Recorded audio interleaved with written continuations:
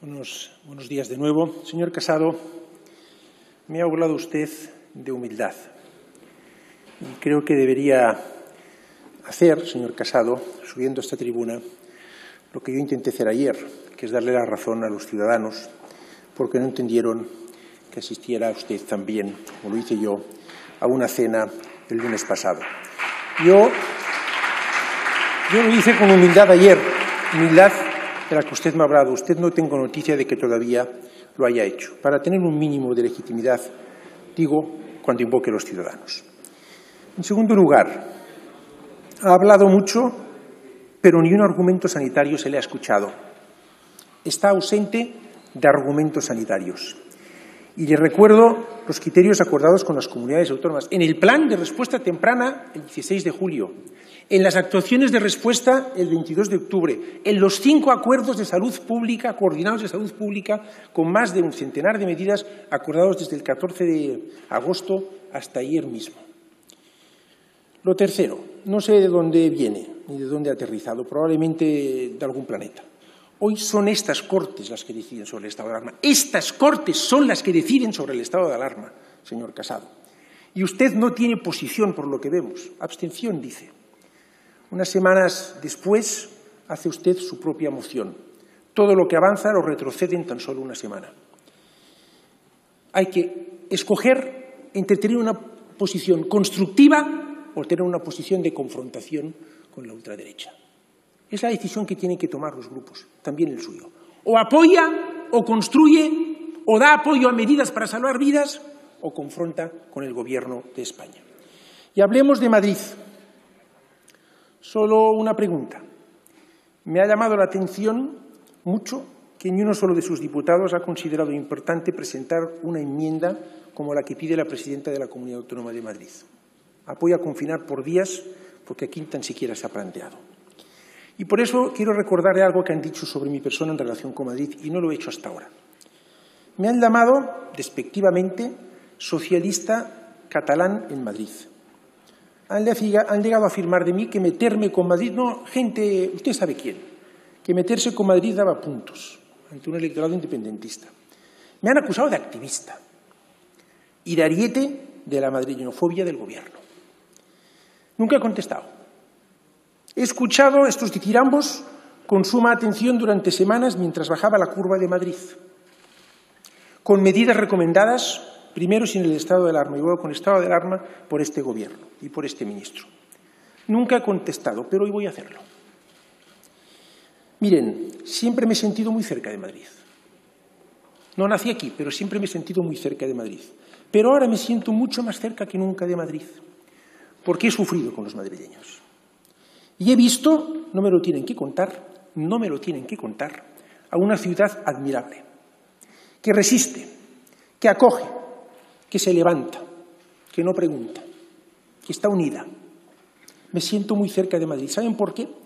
Porque es imposible no sentirse cerca de un lugar que enseguida te hace sentir como uno más.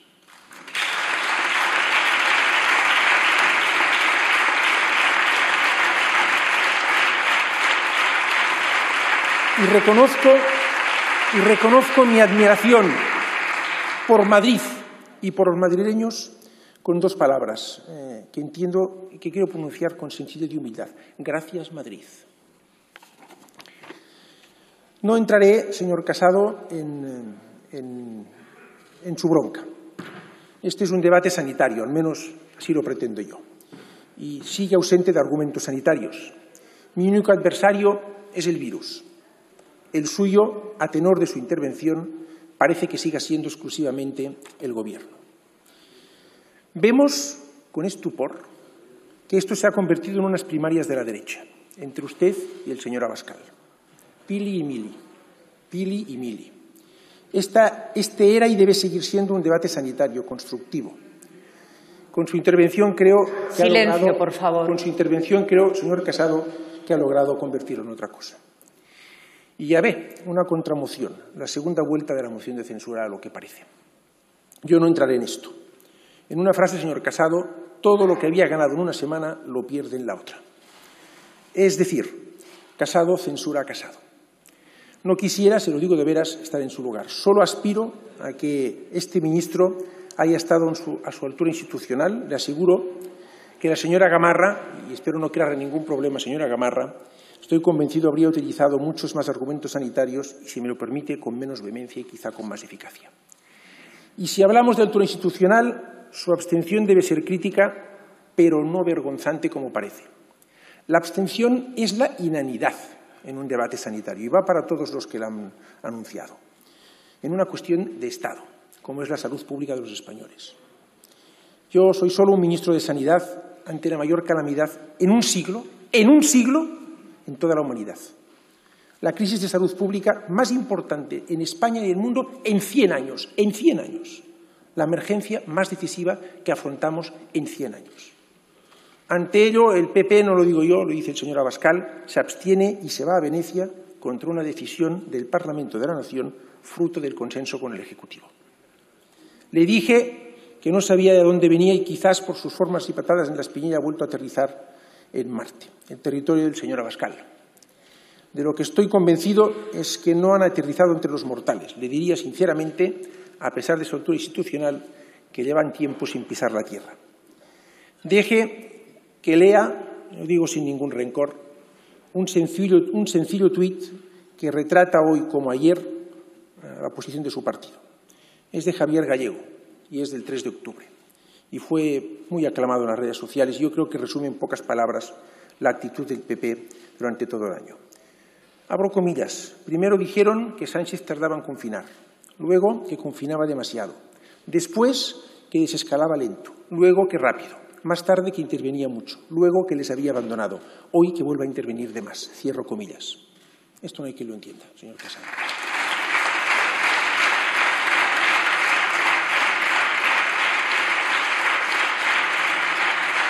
Pero la pregunta es una. ¿Se entienden ustedes a sí mismos? Parece que no soy el único que así lo percibe.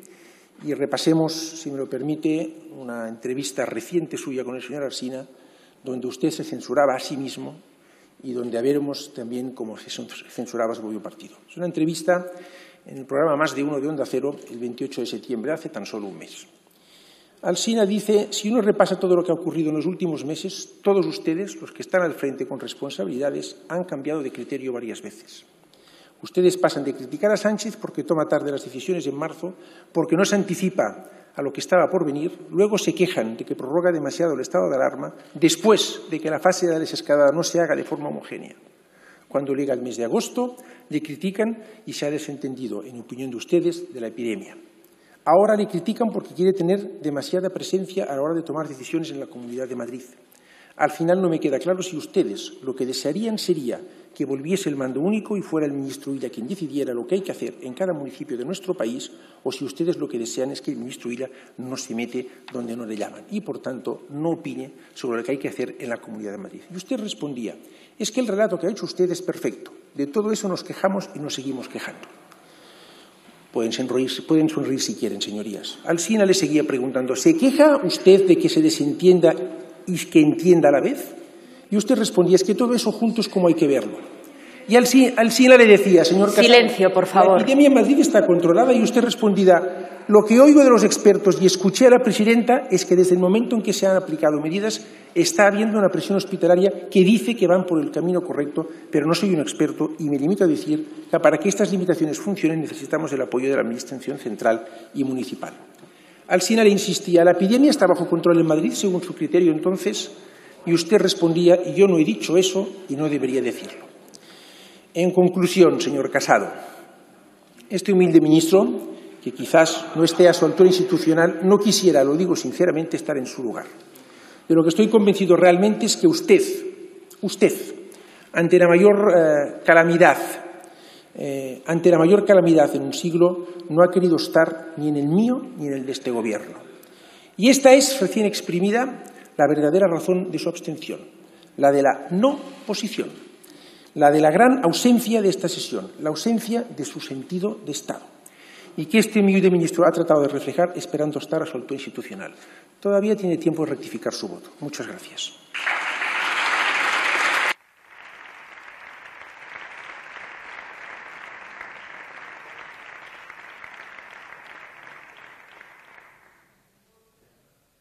Abascal, eh, usted ha decidido confrontar, no con el virus, con el Gobierno. Y en su intervención ha habido una ausencia clamorosa de argumentos sanitarios. Incluso de usted esperaba algo más. Déjeme decírselo con toda, con toda sinceridad. Algunos comentarios a raíz de sus intervenciones. Primero, no le acepto ningún tono amenazante contra ningún servidor público. Ningún tono amenazante contra ningún servidor público. Me arredran o me hacen rectificar los argumentos, no las amenazas, sean dichas con el tono que sean dichas. Un respeto para el doctor Simón y para todos los profesionales de la sanidad pública y de la salud pública que están trabajando en este país.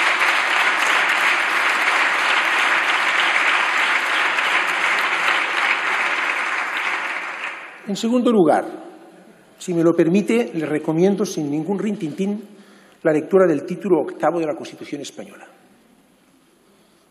la que nos dimos todos los españoles, la que hemos de respetar a la hora de tomar decisiones, la que respeta escrupulosamente el decreto de estado de alarma del que damos cuenta hoy en esta Cámara, ante esta Cámara, y para el que pedimos una prórroga de seis meses. Respeto escrupuloso a la Constitución española, también a su título octavo. Si usted tiene ideas distintas, defiéndalas e intente cambiarlo. Pero, ante tanto, debemos respetarlo todos, también usted y su grupo político. Y déjeme decirle también que algunas de sus afirmaciones, pretendiendo hablar en nombre de todos los españoles, son cuando menos un punto temerarias después de la que la semana, de la semana pasada esta Cámara, que representa a todos los españoles, le diera un apoyo a su moción de censura solamente de 52 votos y tuviera 298 en contra. Por tanto, un punto también de humildad y de sentido de la realidad, señor, señor Abascal. Señor Echenique, ha mencionado usted diez certezas. Quiero agradecer el tono de su intervención y su apoyo la prórroga del estado de alarma. Ha mencionado usted diez certezas. Estoy de acuerdo con la mayoría de ellas. Ha hablado de la obligación de decir la verdad a los ciudadanos, de lo que sabemos de este virus, coincido completamente, de trasladar un marco de certeza en la medida en que sea posible y de una obligación moral de intentar evitar la bronca política y de dar un mensaje único. Coincido completamente con usted. Seguramente su formación científica ayuda eh, manifestar este tipo de opiniones, además de su habitual tono moderado y sosegado. Eh, ha dicho que la situación epidemiológica es grave, es, así, incluso yo diría muy grave, y por tanto esto hemos de trasladarlo a los ciudadanos. Ha hablado de que las restricciones de movilidad son las que hemos conocido hasta ahora que frenan la, la evolución de la epidemia. Es verdad, y por tanto es una recomendación clara de restringir la movilidad y de facilitar medidas a las comunidades autónomas, a los presidentes de las comunidades autónomas para que puedan hacerlo cuando así lo aconseje su, su, eh, situación epidemiológica. Ha, ha, hablado, y yo me sumo a sus palabras, y lo quiero agradecer, de la actitud de responsabilidad de los españoles en su inmensa mayoría. Siempre hay excepciones, es habitual, pero una actitud muy responsable. Yo coincido con usted y lo quiero, y lo quiero eh, reconocer, ha manifestado la falsa dicotomía entre salud y economía, porque no existe lo uno sin lo otro y lo uno sin lo otro. La economía es el principal determinante social de la salud y necesitamos, por tanto, una economía robusta, pero sin salud no hay economía. Van las dos cosas entrelazadas, como usted muy bien ha puesto de relieve. Ya ha hablado, refiriéndose a la, y me ha llamado la atención, a la anticiencia, ha utilizado la expresión de Quincalla y me permite que la adjetive. Quincalla perjudicial, que mata, que mata. Porque, mire, si alguien quiere discutir sobre el terraplenismo y sobre si hemos ido o no a la Luna, esto no, no, mata, no, no mata personas. Discutir sobre la utilidad de la ciencia en relación a las vacunas mata personas. Y ahí hemos de ser implacables. Hemos de ser implacables desde la ciencia y desde la política. Señor Rufián, eh, ha arrancado usted eh, con una expresión muy contundente, es un hombre de expresiones rotundas desde esta tribuna, pero que me ha llamado la, atención y la ha recogido en mis notas, o paramos el país o nos quedamos sin país. Eh, lo que estamos intentando justamente con, este conjunto de, medidas que ofrecemos a los presidentes de comunidades autónomas es eh, evitar un confinamiento como el que tuvimos en marzo. Yo creo sinceramente, me puedo equivocar, será la primera vez, creo sinceramente que si trasladamos el sentido de gravedad de la situación a los ciudadanos y adoptamos medidas contundentes, lo conseguiremos. Pero no seguro. y, por tanto, vienen 15 días decisivos en este, en este sentido. ¿eh? Em, este es el, usted ha dicho el segundo, es el tercer estado de alarma, eh, de 14 de marzo, el que hubo específicamente para la Comunidad de Madrid, que también eh, tuvimos que dar cuenta en esta Cámara, y este que, que digamos aquí. ha dicho también, a mi juicio, con acierto, que los ciudadanos nos perdonarán el exceso de prudencia, pero no las muestras de inconsciencia, estoy de acuerdo. Cuanta más prudencia, mejor, y por tanto ahí estamos, tomando este, ofreciendo este conjunto de medidas a los presidentes de comunidades autónomas. Las em, enmiendas que su grupo ha presentado y que ya habíamos anunciado en la intervención inicial, que tenemos predisposición de aceptar, pues, en sentido de rendición de cuentas bimensual por parte del presidente del Gobierno, mensualmente por parte de quien le abra la posibilidad en cuatro meses de eh, con un informe favorable del Consejo Interterritorial del Sistema Nacional de Salud y decisión de la Conferencia de Presidentes retirar el estado de alarma y también reforzar el escudo social son, eh, medidas con las que coincidimos. Ha puesto usted mucho énfasis en, eh, eh, en, que este estado de alarma es distinto al de marzo, y es cierto, yo lo he intentado explicar, no quisiera reiterarme en mis argumentos, eh, en, mis posiciones muy distinto del que adoptamos en marzo, pero sigue siendo un estado de alarma que requiere de la aprobación del visto bueno de esta Cámara porque restringe algunos derechos y libertades fundamentales y así lo establece nuestra Constitución. Y me quiero agradecer en general la actitud constructiva de su grupo y me va a permitir que ponga de relieve una vez más que fue ya en agosto cuando el presidente del Gobierno puso a disposición de las comunidades autónomas la posibilidad de pedir el estado de alarma si consideraban oportuno eh, hacerlo para su territorio y además garantizó el apoyo de los dos grupos eh, cuyas formaciones políticas integran el Gobierno y que han sido diez comunidades autónomas enteras la de Cataluña las que solicitaron este estado de alarma que hoy estamos discutiendo aquí dando cuenta de la adopción del mismo y solicitando su prórroga. Muchas gracias, por tanto, por, su tono. Señora Borrás, voy a no entrar eh, no se lo tome como una desconsideración porque no lo es, pero no es objeto del debate, no voy a entrar en aquellas consideraciones que no son estrictamente sanitarias. Yo tengo una posición política muy distante y distinta de la suya en algunos temas, pero no los voy a debatir hoy. Creo, que desenfocaríamos el debate. Simplemente le, voy a, pedir, em, eh, en fin, o a recordar que fue el, eh, el Gobierno, el que forma parte de su grupo, el que pidió el estado de alarma y que me, gustaría ver en la decisión de voto que ustedes toman y no, he sido, no he sido capaz de, deducir de su intervención que fuera coherente con la petición que hicieron su propio Gobierno, entre otros.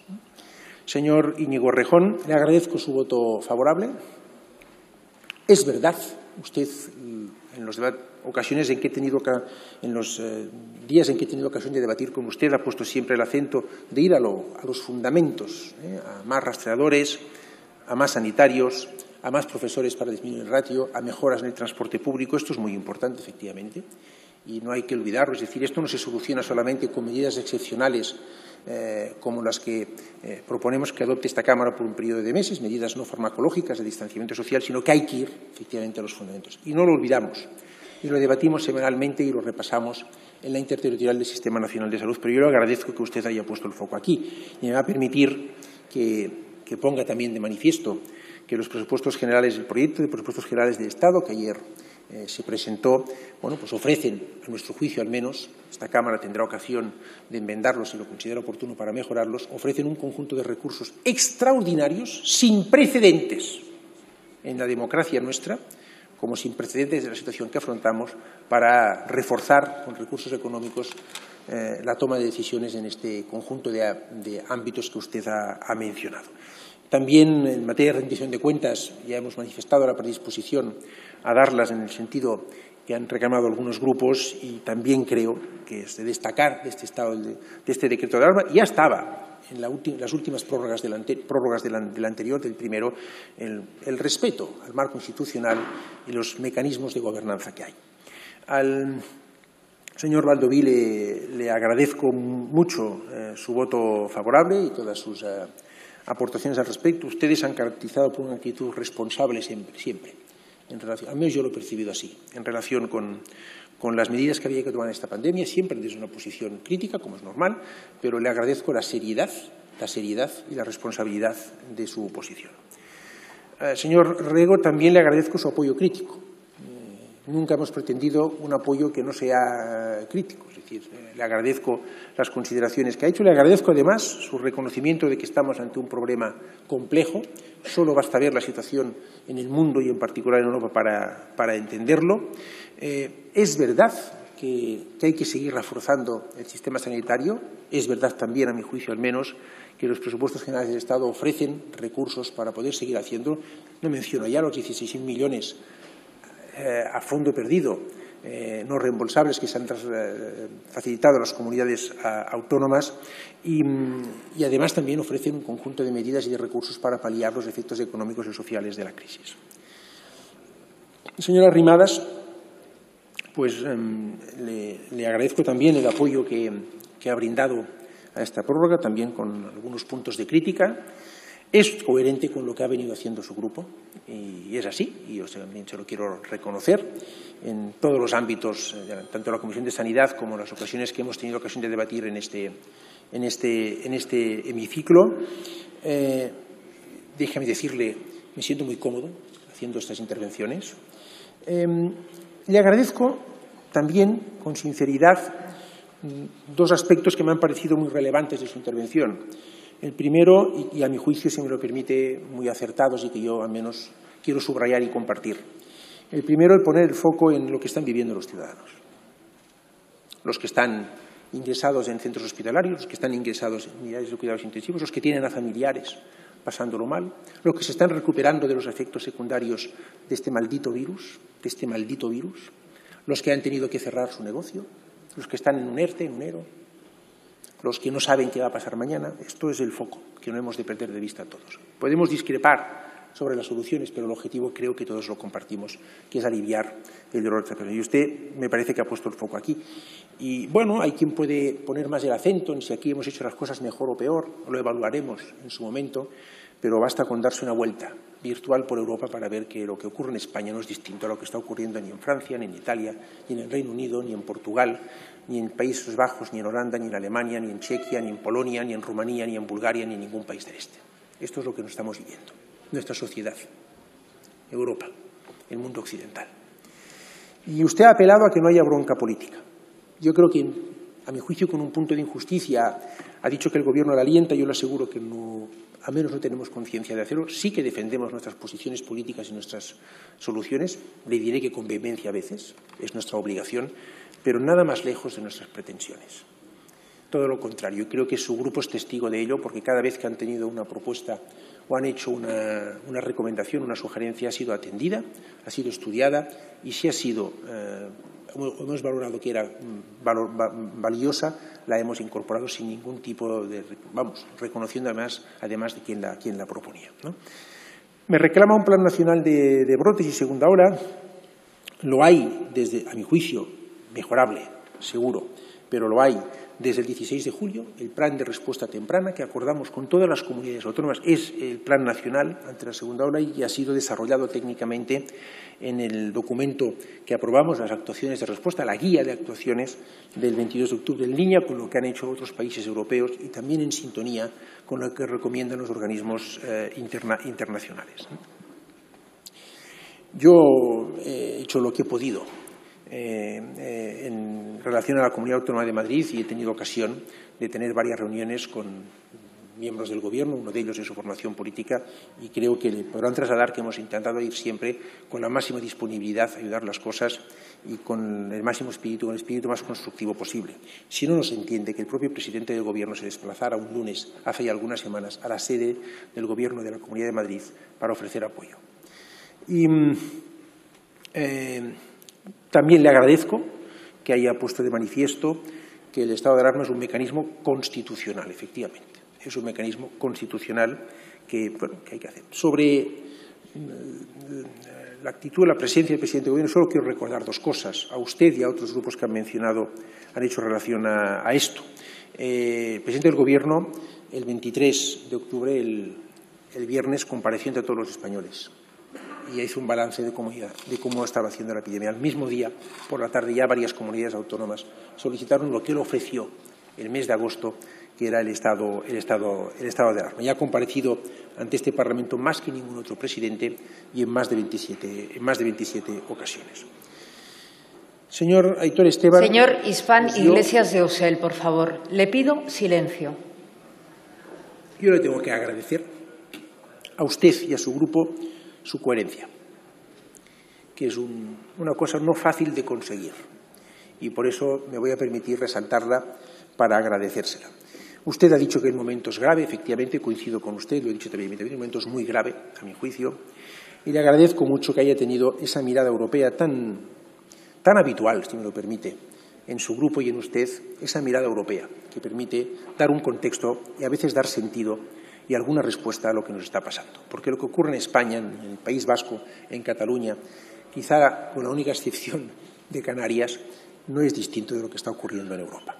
Y por eso es tan importante reforzar, reforzar los mecanismos de respuesta europeos. Yo me siento especialmente orgulloso no de lo que he hecho yo, sino de lo que ha hecho Europa en materia de vacunas, por ejemplo, en una estrategia mm, europea de vacunas que está dando sus frutos. Hemos cerrado ya tres contratos, vamos a estar, se está trabajando en otros cuatro, y en la que también para un poco eh, eh, contrarrestar lo que usted ha llamado el gen español de siempre echarnos ceniza encima, pues es la que nuestro país está teniendo un papel relevante.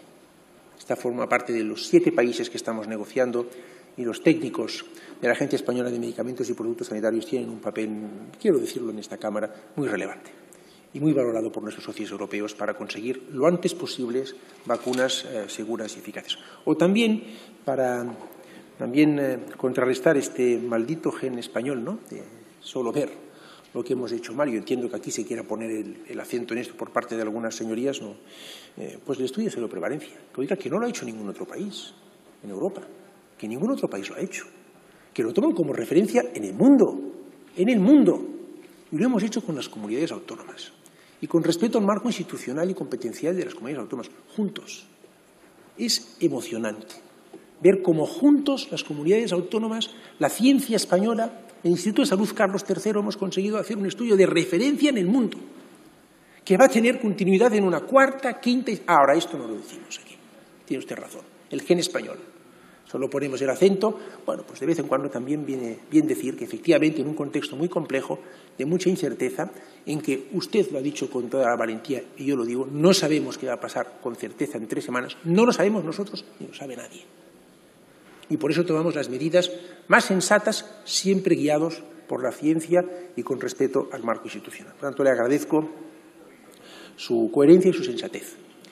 Y usted ha puesto de relieve de una forma muy enfática que ese estado de alarma es distinto al anterior y en un asunto que yo también me gustaría, si es posible, que consiguiéramos traer a los ciudadanos, que esto no significa que estemos seis meses con todas las medidas activas. Es una habilitación. Habrá estado de alarma, pero será una habilitación para que los presidentes de las comunidades autónomas, en función de la situación epidemiológica, puedan activar estas medidas o desactivarlas, con agilidad y con contundencia proporcional a cómo esté la realidad epidemiológica de un territorio. Y con flexibilidad, porque el virus no está igual en Canarias que en Navarra, que en Galicia, que en Asturias, que en Madrid o que en Cataluña. Por tanto, yo creo que esto es, eh, está bien. ¿eh? Em, el señor, la señora Merche Izpurúa, pues yo le voy a pedir, eh, no, no identifico, ya la veo, yo le voy a pedir que reconsidere su abstención y que pase al voto afirmativo, si es posible. Porque usted misma ha reconocido que ese estado de alarma es necesario, aunque según usted insuficiente. Eh, hablaba de necesidad de completarlo con medidas sociales. Bueno, ahí tenemos unos presupuestos que van a ser debatidos y idealmente aprobados, eh, espero, en breve, que proporcionan recursos para hacer frente a esas necesarias, esos necesarios recursos para hacer frente a las eh, consecuencias sociales y económicas del virus, pero creo sinceramente que, que en fin, yo al menos apelo a que reconsidere su abstención y den apoyo a, este, a, este, a este estado de alarma. Además, su grupo, su grupo, se lo he dicho en privado, creo que no cometo ninguna eh, indiscreción si lo digo en público, su grupo en la Comisión de Sanidad ha tenido siempre intervenciones muy sólidas, muy sólidas desde un punto de vista sanitario.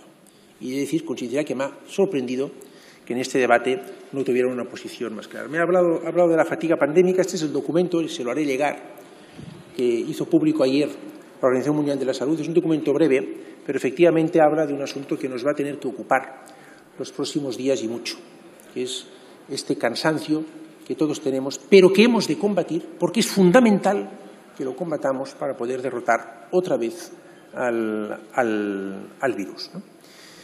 Em,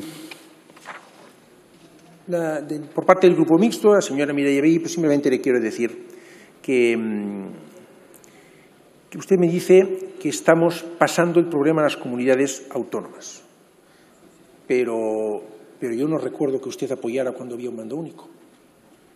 Entonces yo le pido un punto de coherencia. Y también le digo que si se quieren competencias hay que ejercerlas. Y hay que saber dar la cara cuando las competencias llevan a veces a tomar decisiones difíciles o complejas. Teniendo la garantía, fíjese lo que le digo, además las comunidades autónomas, de que cuentan con el Gobierno de España cuando toman estas decisiones, como hemos hecho hasta ahora.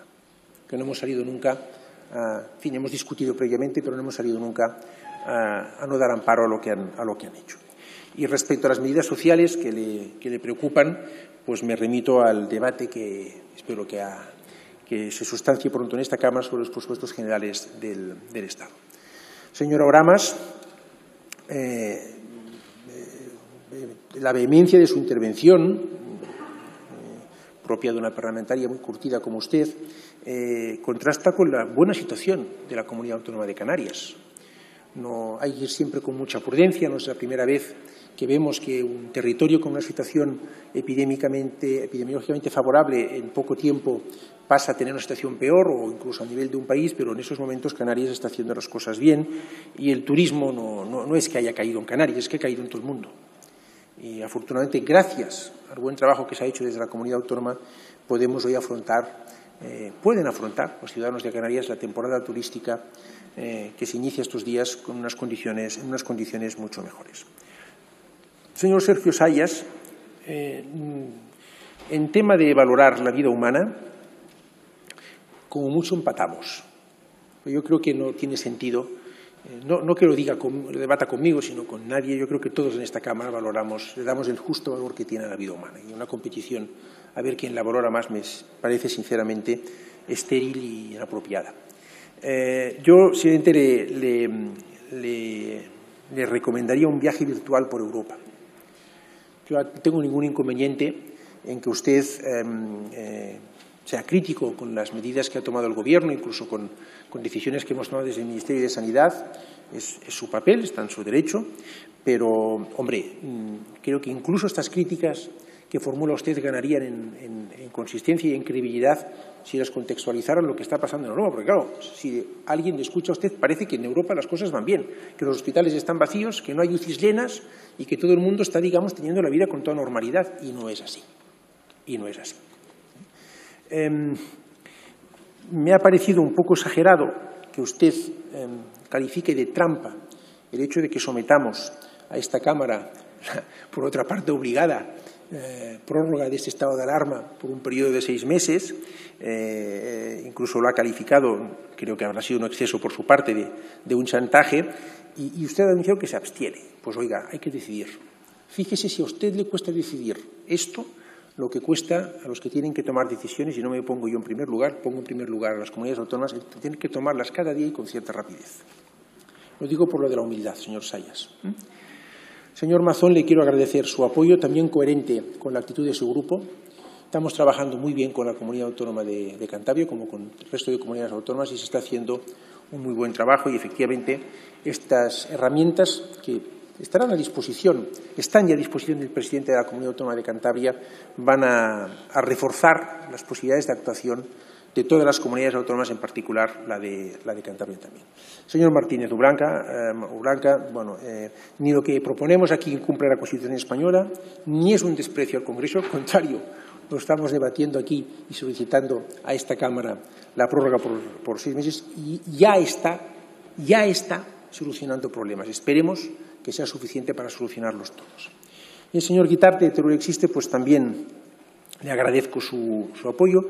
Su mención a la España vaciada, hecho usted referencia a, la situación de Alcañiz y Teruel, yo la sigo con la comunidad autónoma, eh, con la consejera del Comunidad Autónoma de Aragón, estoy al corriente de la situación del Hospital de Teruel eh, y el otro día tuve una conversación con la consejera a este respecto y me consta que se están tomando las medidas para reforzarlo.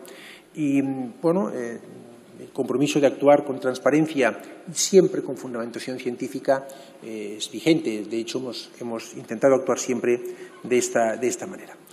Y ah, para terminar, a la portavoz del Grupo Socialista, la señora Adriana Lastra, pues le quiero agradecer su apoyo, siempre el cálido apoyo del Grupo Socialista. Me ha parecido muy relevante y muy sugerente la distinción que ha hecho entre la imagen que damos, pero también la que traemos a esta Cámara. Es verdad. Y eh, en estos momentos y en debates que afectan a la salud pública, esto hay que tenerlo muy presente. Me ha parecido también muy certero, por conciso y bien enfocado, eh, la distinción entre el debate sobre los medios y sobre los objetivos. Yo estoy de acuerdo con usted. Yo creo que aquí todos queremos mm, derrotar al virus y doblegar la curva y olvidarnos ya de esto lo antes posible. Y, eh, por tanto, es a donde, donde tenemos que enfocar la discusión y no sobre los medios. Em, es verdad, además, que el estado de alarma lo han solicitado las comunidades autónomas. Es verdad que hubo un ofrecimiento del presidente del Gobierno el mes de agosto, pero ha habido una solicitud formal de diez comunidades autónomas. Es verdad también que ofrece un marco de apoyo y un marco de seguridad a las comunidades autónomas, como decía el señor Esteban, para que puedan tomar decisiones en un horizonte de meses. Y yo coincido con usted en que ni un día más, ni un minuto más de lo estrictamente necesario, pero todos los días y todos los minutos que sea necesario. Evidentemente, con respeto a, nuestro marco legal vigente. Por cierto, eh, creo que ustedes saben, sus señorías conocen perfectamente que el estado de alarma que aprobó el Gobierno obtuvo el dictamen favorable del Consejo de Estado, que no es menor la vicepresidenta primera del Gobierno tuvo ocasión de agradecer públicamente la celeridad y disposición de los consejeros de Estado para elaborar un dictamen en tan poco margen de, tiempo. Es obvio que los mecanismos de control parlamentario están vigentes y a disposición y, por tanto, que no hay ni ninguna voluntad, pero tampoco ninguna posibilidad de escapar al mismo. Al contrario, esta es la sede de la soberanía nacional y ante ella hay que rendir cuentas de la acción de, gobiernos y me ha parecido especialmente sugerente eh, su señalamiento de que si vamos, como algunos pretenden, a legislación ordinaria para posibilitar la adopción de estas medidas, justamente escapamos a este necesario control parlamentario o bien control judicial. Yo le agradezco el apoyo de su grupo y acabo como usted ha acabado, eh, sin añadir eh, ni quitar ninguna coma, pidiendo a todos los grupos a los que al menos no lo han hecho hasta ahora que manifiesten su apoyo a esta petición de prórroga. Muchas gracias, señorías. Gracias, señor ministro.